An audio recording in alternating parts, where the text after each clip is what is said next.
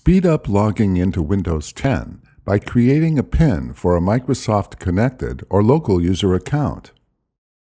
First, log into Windows 10 using a Microsoft Connected or local user account.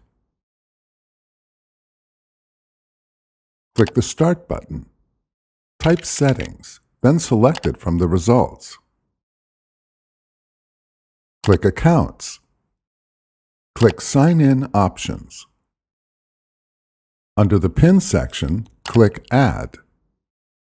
Your account must be secured with a password before creating a PIN. If Add is not available or the PIN section is grayed out, create a password for your account.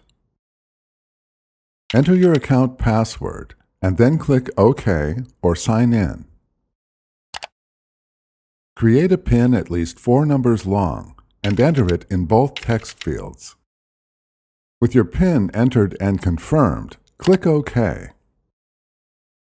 Log into your computer, Microsoft account, and other apps and devices using your PIN.